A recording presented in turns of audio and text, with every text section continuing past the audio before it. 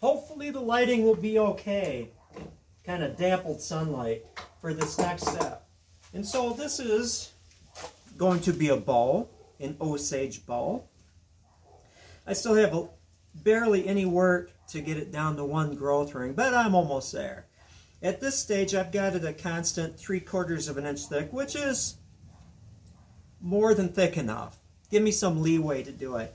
And what I'm doing now is just removing the wood. Hopefully you can see those pencil lines that I have drawn on there following the ganks. Now, the first note, the first note of consequence is that when I do these lines on the bows, I follow the snakes, but these lines are only a guide because I am following the fibers along the side of the bow, which is the important part, but I still want to get it to the dimensions of this. This is a very minor taper to this point, and then it gets taperier. And I drew this out with a, basically just a measuring stick, a metal-edged measuring stick, a metal, a metal measuring stick with metal edges.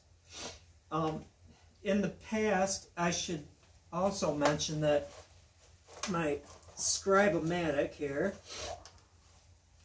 that I used to draw thicknesses, I didn't have it always. In the beginning, I would literally take a piece of cardstock, and sometimes I'd have to glue it together if it was a 36-inch piece, to make it long enough for a little more than half the length of the bow, because I want this thing to pass beyond the handle, and then have them match up.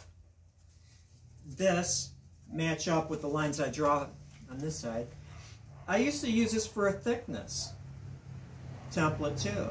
I would get a thickness, handle section, and then the thickness I was aiming for for the tip, and I'd draw a line, and then I'd measure it, what I want, you know, how thick do I want it at the tip, and thick at the handle, and then draw another line, cut it out with scissors, and follow it, and I've done this with snaky bows, along the edge of the bow, and then taking my pencil and drawing that on there.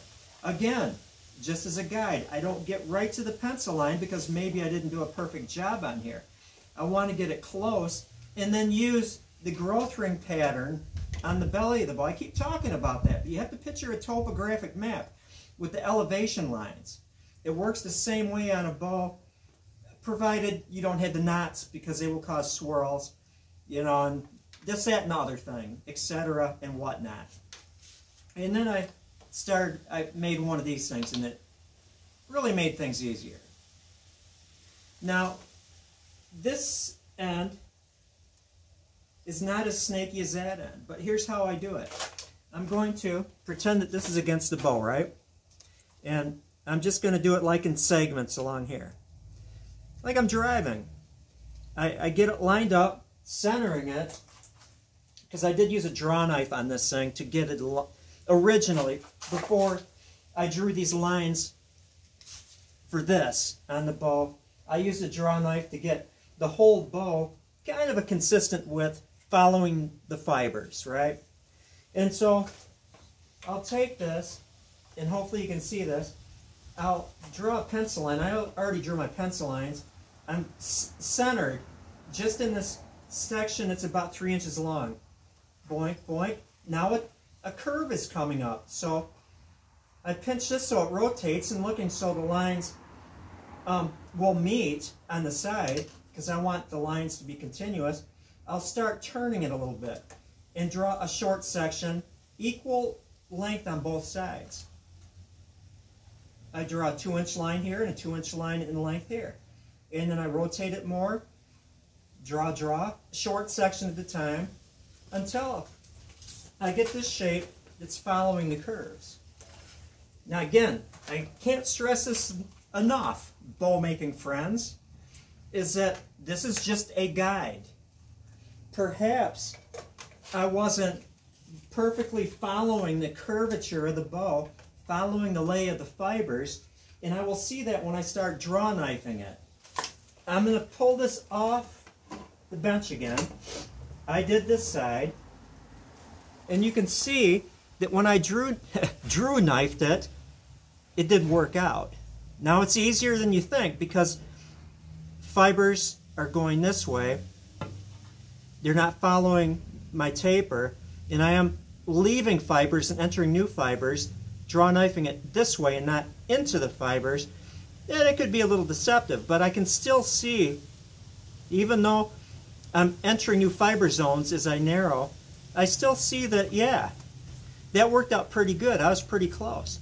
Now, you have to be uber careful when you're draw knifing it where it gets parallel.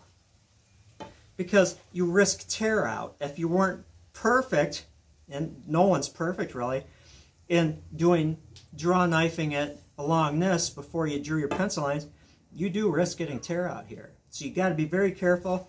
And when I draw a knife in that zone where it is parallel and I risk getting tear out on the sides, I, I basically draw a knife very slowly in short short bursts. Not like that, but just short bursts so I can see if I'm going to get tear out. And if I am, fight that urge. Fight the natural inclination of guys that say, I'm going to keep going because it'll get better. No, you stop dead and either remove the draw knife from your hands so you're not tempted to keep going and getting tear out, maybe sanding it or something to get rid of that lifted from the draw knife fiber that could go inside your lines. You'd be able to stop yourself, I know. It's hard. But I will draw knife it, leaving about that margin. Can you see that? Maybe a 16th of an inch or so. And I might use, again, purists will cringe when I say this, maybe an orbital disc sander. I love my orbital disc sander. To, to get it right to the lines. Or maybe I can carefully um, draw a knife it in, but I need to be darn careful or I could goof up my bow and suddenly have to make a narrower bow. When you get within a 16th of an inch, like in this bow, be careful.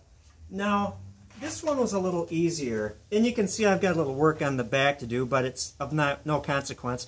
That crack right there, right there, is going to be gone. So I'm going to eat up a little bit of time here so you get your money's worth. I keep slipping into Dennis Hopper and Apocalypse Now. It was a good bow. It was an Osage bow. Nobody understands it, man. But anyway, this is also a good time because it kind of twists and it's ginky. It's roller coastery, which, I mean, when you're looking at the side, not the face, it's kind of roller coastery. And it's kind of twisty when you're looking right directly at it if I was going to shoot you. which I'm not. I'm a nice guy. Um, but this is a good time to be really careful. And what I'm doing now is doing my best to get a 90 degree angle between the side and the face because it wasn't perfect before. That's what I mean. I don't have a super sharp draw knife. But these little chopping strokes, I don't need to do that. I can do long ones and like get skewered in the gut with a bow. Yeah, it's dull. I like these when you go in here, little short chopping, so you can stop it before you get tear out. And I'm looking at this and looking at this, making sure I'm not like going inside a line if I had it in the back. I want 90 degrees to the back, and it's hard when it's propeller twisted. There, I have done eliminated that crack.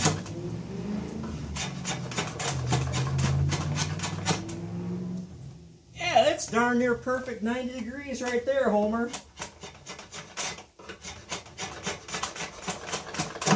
And I can actually, you're saying I'm going from one level of fibers to the next, and so I don't know if I'm actually following the fibers tip to tip. But when I'm doing this, and not tapering it, but then leveling off and following the lay of the fibers, because picture it, this orientation, the bow sitting here like this, you're looking at the face, I'm working the sides, I can, every so often, level it off and go with the fibers, and now I'm seeing where the natural snakes are. See? Again, this is just getting close and learning the bow. This is very esoteric. This is very hypothetical. As you're working a bow out of a bigger piece of wood, you're learning about that piece of wood. You're learning about, I keep thinking, oh, I like moonlights along the beach, and I like romantic music and a bottle of Chablis. No, you're learning about the fibers in the bow, the ganks, the little pin knots. You're learning about everything and absorbing. As you get closer and closer to the finished bow, you have less of a margin of error. And so hopefully it's to like, and now you've learned the bow and you, you hit that margin of error and now you're finishing it. Wow, that's deep. Let's talk about motorcycles. Behind me you see this mighty 1980 Honda CB 125S. And again, the S stands for super fast. It's got a top speed of, they say, 75 miles an hour. It's hard to believe that a human being can, can survive the speed of 75 miles an hour.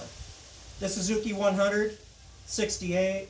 Um, I don't know what the SR500 is faster than I want to go because I'm my own mechanic. But this thing, all it needs is a stinking ignition coil. And you would be surprised if you've never worked on old vehicles, some of you had, sourcing this stuff. I put a, whole, a halt to the Suzuki 125 because I need the stator, I need the flywheel, I need the points, which go wet on a whole lot of bikes.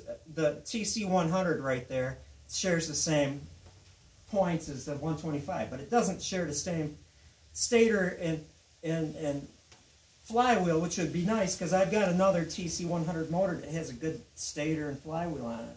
But these things are almost impossible to get, and that is pricey.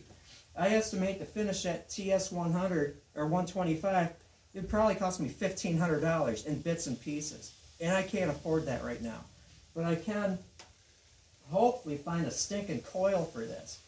And the only other bike shared the same coil as this 1980, of course, CB125S, is a 1979 XL175 or some obscure motorcycle like that. You know, it was a specialized thing, and uh, I don't know. I don't know. Anyway, back to bows. I noticed that I got a little off kilter here. That is 90 degrees. And I didn't work right down, so I'm going to get it there. There, I didn't go inside my lines, and I got it back to 90 degrees. This is another thing, too.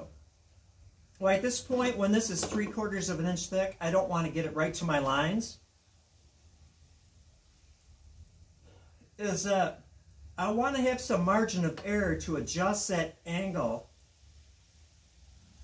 right there between, betwixt the sides and the back. And if I get it right to the lines, I'm stuck with whatever angle I've developed here.